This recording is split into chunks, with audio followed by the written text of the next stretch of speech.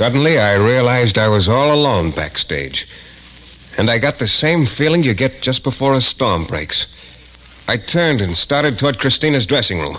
Then I heard the shot and the scream. And as I started running, I had a strong hunch I'd just lost a client.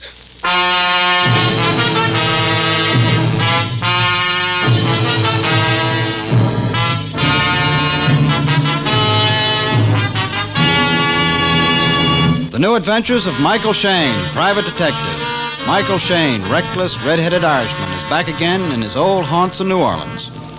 This is your director, Bill Russo, inviting you to listen to another transcribed episode, which we call The Case of the Left-Handed Fan.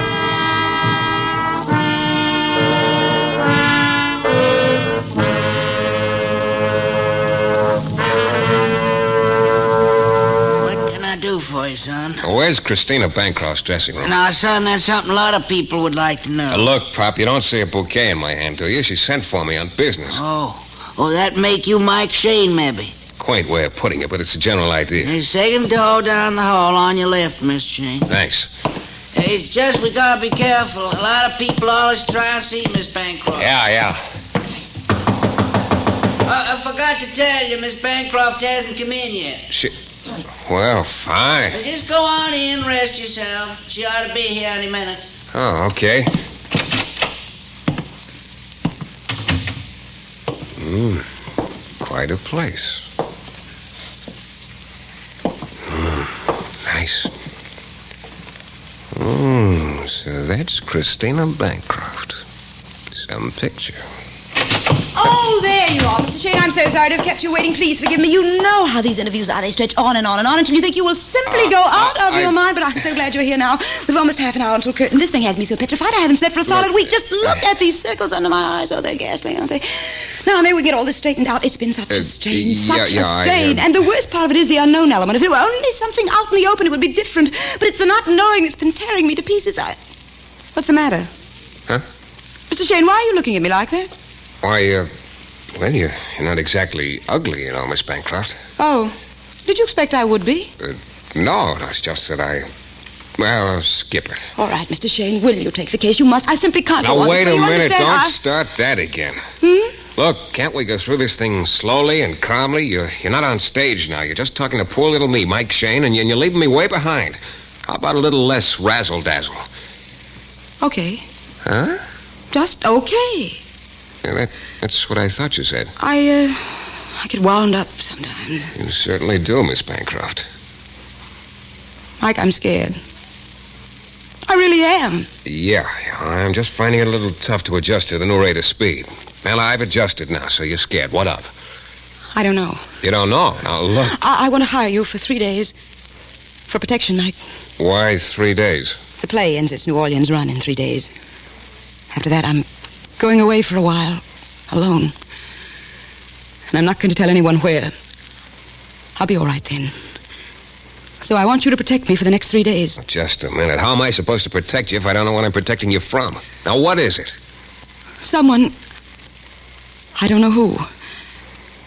And I certainly don't know why.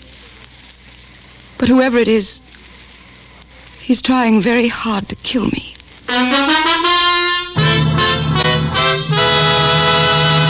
In a moment, we'll return to the new adventures of Mike Shayne and the case of the left-handed fan.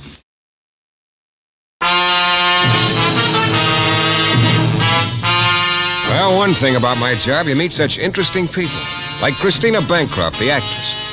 I guess dazzling's as good as any other word for Christina. The girl was very, very beautiful and very, very hard to figure. One moment she was quite the actress, talking a mile a minute with sparks flying and with gestures yet. The next moment she was a sweet, scared girl, quietly asking me to protect her from an unknown killer. Well, at the time, the job of protecting Christina was the pleasantest prospect I'd had for weeks, so I didn't hesitate. After our interview, I stuck around in the wings watching the play. Christina seemed to be knocking him dead. Finally, near the end of the show, a tall, thin guy with a streak of gray came over No, where I was standing. be. Hello. You can't Oh. mean it. I'm Hamilton Dunn, the director. Uh, mine's Shayne. How are you? No place for us to Shayne. go. Helen. Enjoying the play? And like It's quite a girl out there. Yes. They won't. Shayne. Heard the name somewhere. Trying to get over each other completely. You're a friend of Christina's? Mm, Not exactly. Huh? You- You say you directed the play, Mr. Tom? Yes, that's right. Maybe you can tell me then Tell you what? what there is about her. Christina? Yeah. There's people out there in the audience. Look at them. Spellbound. I suppose you've known her quite a while. Yes, yes, quite a while. She's a great actress. You know, I somehow get the idea that in addition to being a director, you're sort of a fan of hers. Yes, Mr. Shayne. I guess you might say I am a fan of hers. Next question. Sorry. Anyway, I'm sure this stocky chap coming toward us can tell you a lot more about Christina. Oh? Yes, you see, I'm only her director. He's her business manager. He sees her a lot more often. Naturally. Naturally. Hello, Frank. Am? Uh, this is Frank Harper, Mr. Shayne. Frank, Mr. Shayne. Hello? Shayne? Michael Shayne? Yeah. I've been trying to find out, very unsuccessfully, just what Mr. Shayne is doing here. He's a private detective. So be said. Private detective. Yeah. Look, I wasn't trying to be coy. I didn't want to say anything about it until I was sure Christina had told you. Well, she certainly didn't tell me anything. She she said something to you, Harper? Dearest love. No, she said nothing, Shayne. Uh-huh. That's interesting. Oh, yeah, curtain. Absolutely the worst performance I've ever given in my life. Atrocious, simply atrocious. I'll never, never. Ham, how was I really? Why, you, uh, well, you played a little differently tonight. More introspection and uh, something else. You seemed preoccupied. I didn't like it quite as well. Oh. Frank, what did you think? I thought it was good. Look, I suppose the three of you have met. I'm sorry, Mike. This is Ham Dunn, the greatest director there is, isn't? Yeah, yeah, we've all met. Uh, Christina, is something the matter? Matter? What do you mean? Mr. Shayne is a private detective. Miss Bancroft, some people to see you. Yes. Uh, look, Ham, it's nothing really. I, I don't want you, uh, Frank, to worry about it. I just want Mike to sort of do a little work for me. Uh, I'll tell you all about it later. I, I've got to Miss go now. Bancroft. Yes, I'm coming. Uh, Christina, I, um, I thought maybe we could all, uh, all of us could have supper at Arnaud's this evening. oh, I'm sorry, Ham. I wanted to talk to Mike about some things, but some other time real soon. Uh, all right, Christina. Uh, Frank, you don't mind, do you? No, I've got some business to take care of anyway. Business? I'll see you tomorrow. Christina went over to the stage door and left the three of us standing in the wings. The looks that Dunn and Harper were tossing in my direction, it didn't take my customarily brilliant powers of deduction to tell me that I was about as welcome as a bumblebee in a phone booth. So I went back to Christina's dressing room and waited for her there. Pretty soon she came charging in and the sparks were flying again. Mike, you can see what this thing is doing to me. That atrocious performance of mine tonight. It was just that I was completely terrified. I thought anything All that right, was going to come let's get out of overdrive, huh? But don't you In- see? Who is it? Flowers, Miss Bancroft. Oh, all right, Pa. Bring them in, please. Just set them down there. Is there card? Yes, sir. Yeah, it is. Oh, thanks. Yeah, looks like some florist made enough on that sale to retire quite on. up to your standard tonight, my dear, but superb as usual. Everett. Of course, he'd notice. Oh, Everett? What does he expect? Perfection every night? Hmm? Oh, I'm sorry. Yes, Everett Leverett. Everett Leverett. What is that, a word game or somebody's name? Everett's my number one admirer. Follows the show everywhere, goes to each performance, sends flowers every night. Each performance. Doesn't he have anything else to do? Apparently not. Well, uh, I mean, oh, skip it. Look, let, let's get back to this unknown guy who wants to kill you. Oh, Mike, you don't know what it's like to walk back and forth on that stage and think that maybe someone beyond those footlights whose face is only a blur is waiting, just waiting for a chance. to- Yeah, yeah. Now look, do me a favor, will you, Miss Bancroft? What? Just sit back and relax for a minute. Let me talk. Yes. Now, you called me down here to ask me to protect you from someone you say is trying to kill you. You don't know who or why. Now, what I want to know is what gave you the idea. Have you any evidence that someone's out to? Oh, yes, I have, Mike, several things. All right, let's have them. Well, there was a telephone call a couple of days ago. A man, he told me then what he was going to do. Anyone around when you got the call? Well, I don't remember. Then there was a note yesterday threatening me. Where is it? I, I threw it away. Why? Then, because I didn't take it seriously. Then this morning I came down. He was walking backstage. A sandbag dropped. Just missed me. Anyone else around then? Well, I don't think so. That's then, enough. Well, there've been lots of times. That's enough. You're lying to me. Yes. Yes, I'm lying to you. This isn't an unknown crank who's after you. No, it isn't. You know who's trying to kill you and why. Now let's have it. All right, Mike. They think I'm in love with Frank Harper, my business manager. They? Who's they? Ham Dunn and Everett. Your director and the man who sends you flowers. Well, are you in love with Harper? No. But they won't believe me. And they both told me that, that if they can't have me, nobody else will. I think they mean it, Mike. I think either one of them is perfectly capable and willing to kill me or anyone else who stands in their way.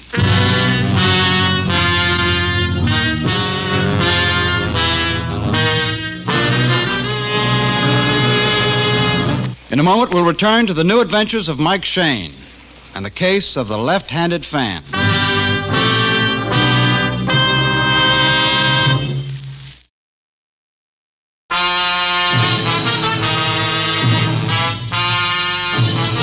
All started when an actress named Christina Bancroft asked me to protect her for the three days she was going to be playing in New Orleans. Seems that her director, Hamilton Dunn, and a wealthy admirer of hers with the quaint name of Everett Leverett had both told her that if they couldn't have her, nobody else would either. Yeah. All in all, it looked like just the kind of setup where somebody was apt to wind up dead.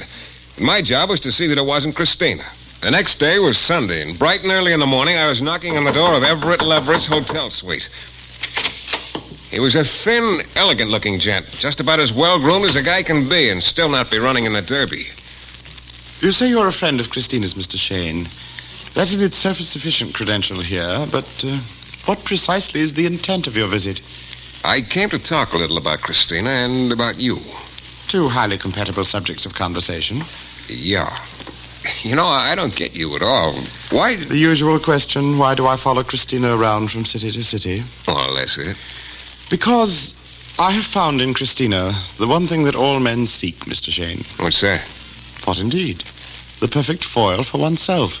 Uh, yeah. I don't get what's in it for you, though, all this traipsing around.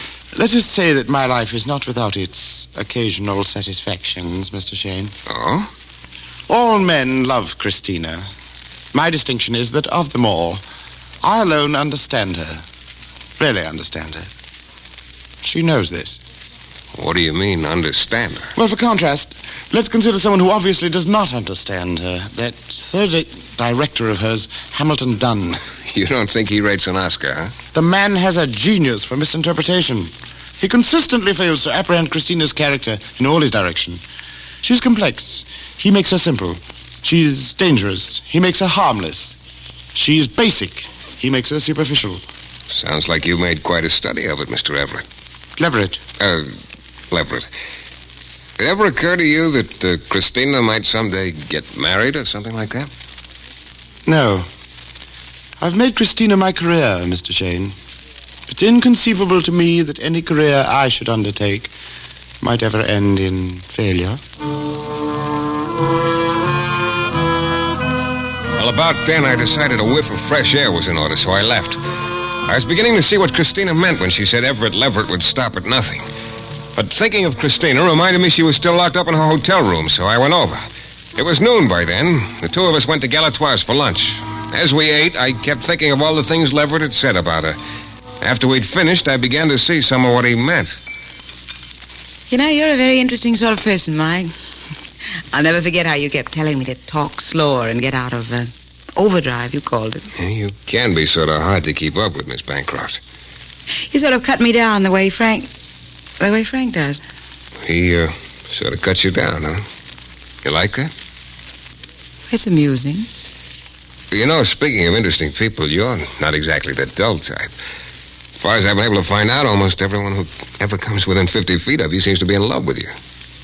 Yes. It has to be that way. Does?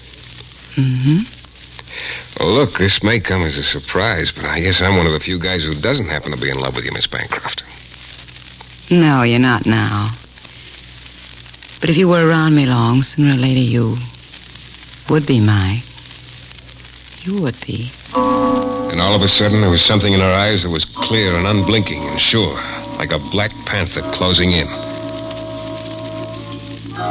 I took her back to her hotel. It was Sunday, and there was no performance. Well, that night, I figured it might be a good chance to get around to Frank Harper. I was a little late. Just as I got to his hotel, I saw him come out the door, look up and down the street, then get into his car and drive away. He looked like a man with something special on his mind, so I followed him. He drove across town to St. Charles Avenue and along it a few blocks to an apartment house. I stopped a little way down the street. Harper got out of his car and went inside.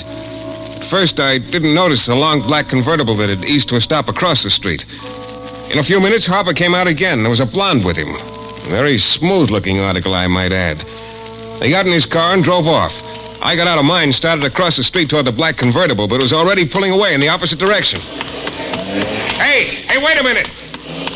Hey! Too late. The convertible had jumped away from the curb like a startled kangaroo. I couldn't see who was in it. The next day, Christina stayed in her room all day. That night, I took her to the theater for the last performance of the play. It was also my last night on the job, and I wasn't sorry. After the show, I was standing near the stage door when a long black convertible eased into the alley. Yeah, the same convertible I'd seen the night before. And who got out was my old friend Everett Leverett. Where's Christina? Oh, Over there, talking to Dunn. Oh, yes, Dunn. Everett? Good evening, my dear. Are you ready? Everett, I'm terribly sorry. I won't be able to make it this evening, I'm afraid. I see. Frank and I have some business affairs to discuss. I see. But uh, maybe I could call you later, hmm? That will be fine. Good evening, Mr. Shayne. Christina and Frank Harper started for her dressing room. I wandered around the wings for a few minutes, doing nothing in particular. Then it hit me that things were awfully quiet all of a sudden. I looked around. Hamilton Dunn was nowhere in sight. Neither was anyone else. I was all alone backstage. I suddenly got the feeling you get just before a storm breaks. I turned and started toward Christina's dressing room. Then I heard the shot and the scream. As I started running, I had a strong hunch I just lost a client. I pounded down the hall into her dressing room, then I stopped. Christina was crouched over in one corner, whimpering. But Frank Harper lay face down on the floor, dead, with a bullet hole in his back. Christina, Christina, what happened? Come on, stop it, stop it. Tell me what happened.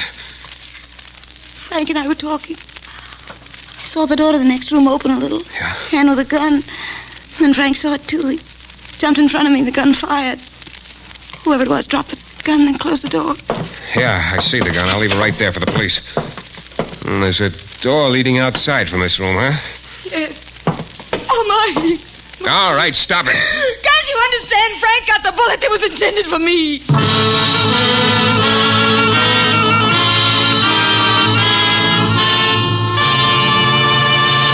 In a moment, we'll be back with the thrilling climax to tonight's Michael Shayne adventure.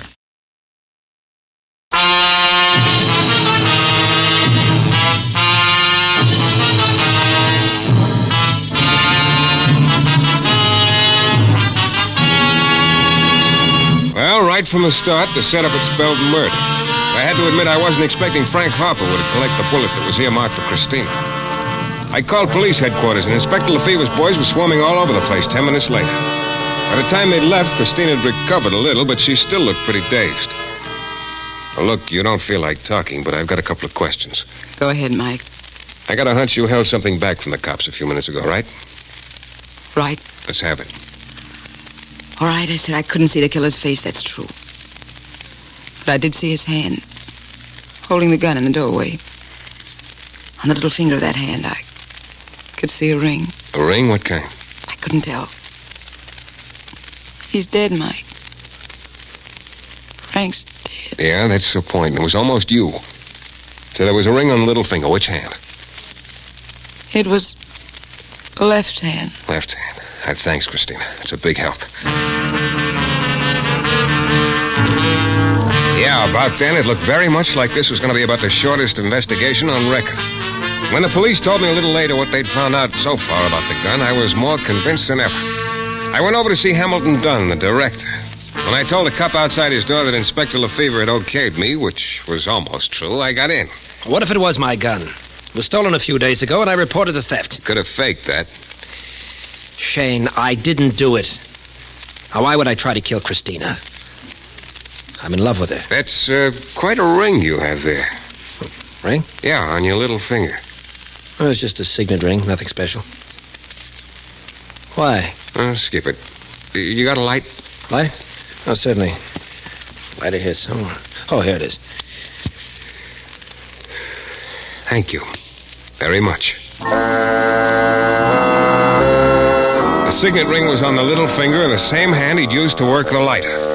His right hand. So Dunn was in the clear.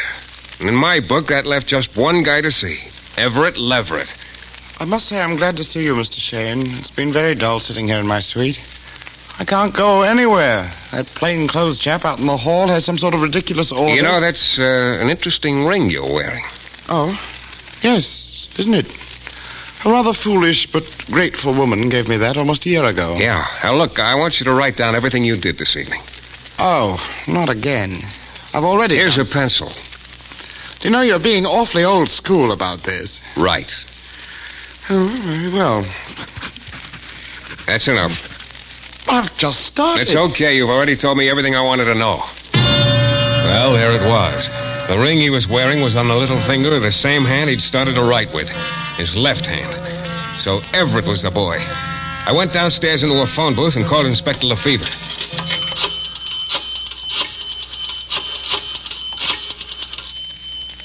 Shayne, Inspector. Look, I got your boy pegged for you. He. What? Huh?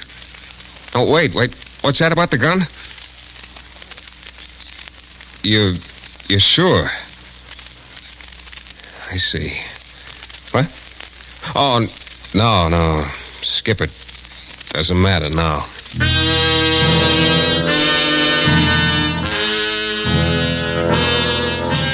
I went outside. A light rain had started falling. I suddenly felt old, tired, a little sick. I went back to the theater. Christina was still sitting in her dressing room. When she turned toward me, her eyes were hollow and lifeless. She seemed to be looking past me. Hello, Christina. Hello, Mike. It's all over. Wound up. It is? Yeah. You found out who killed Frank? You killed him, Christina. Yes, I killed him, Mike. You. You said you saw a ring on the killer's left hand. But the police told me just a couple of minutes ago there were no fingerprints on the gun. So the killer couldn't have been holding it in his bare hand. You lied to me. Yes, I was lying. You couldn't have seen that ring.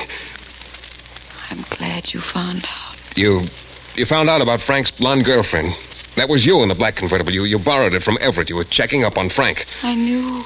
I knew. Yeah, you, you knew all about the girlfriend. You couldn't stand a thought of that, of anyone not loving you. Particularly the man the man you loved, Christina. That's why you killed him. I killed him. I loved him. I killed him.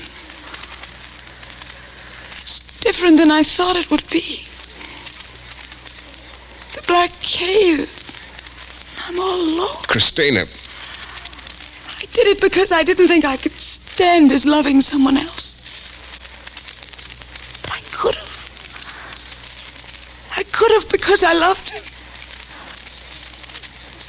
I wish he was still alive. now you think of that. Now. Why couldn't you?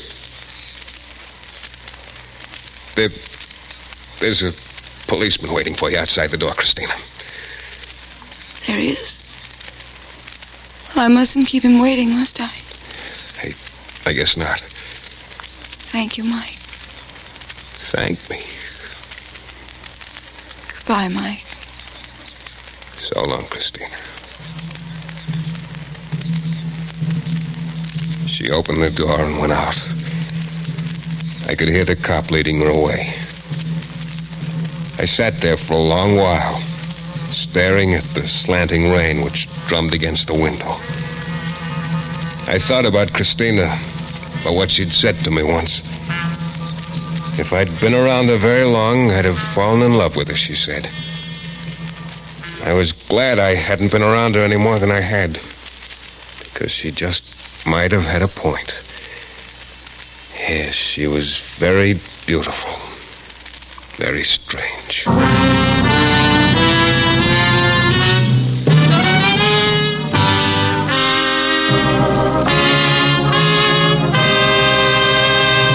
This is your director, Bill Russo, again.